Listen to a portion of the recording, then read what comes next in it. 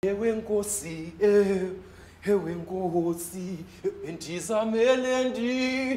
ye indi uyivile la nkonzo yayizolo fo ndini binjani Eh, ndithi umoya kathixo ubhudluza yonke le ndawo yonke into ibinelevel uthini ngomtawunga Eh, umtawunga ngoku uhamba ngesantya esinyukileyo nemimangaliso ngokunjalo Eh, yazi imimangaliso ngoku yonke into ixhomile yazi umntu awo ngoku ingathi ubaleka ngo-360 ya ya eh, indi ugrand um eh, mfana wam ayikho simangaliso enbengasibona mina ayikho imirakhulu ngiyibonile Oh, what do you mean?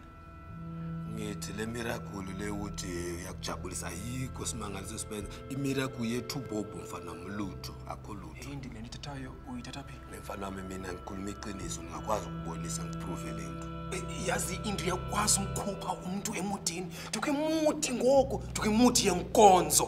kutheni uvumela ukuthatha nakusebenzise yazi ni mfana wami mina bengidayisa esitrateni amagoda yazi ndiyazi wonke umuntu amakastoma wam uyabona loya lo out leya hayi ibe ikastoma yam yamampela leithethayo iyaphi kanye kanye uyaphi lalo ithethayo uyabona le out leya ithi izosizwa nopasta etithakathiwe leya izolo ebusuku nolo muntu mfana wam isikelem iskandale yonke mfana wena uyazi into yokuba ubanzi yabatshintsha abantu um Thina utsenza muncu nje. Unocabanga ukuthi umuntu abavimphasta usuwamthandazela watshintsha kanjalo. Sathana kufasi woko. Phuma! Fire! sumvumela ukuthatha nadlale ngawe ha vumela umoya kathixo akugubungele ha mfana wam whatever uyazi nasiyeke kungcono kumanje siyeke let's forget about it mfana siqhubeke nendlela yakho othandaza ngayo yeah very good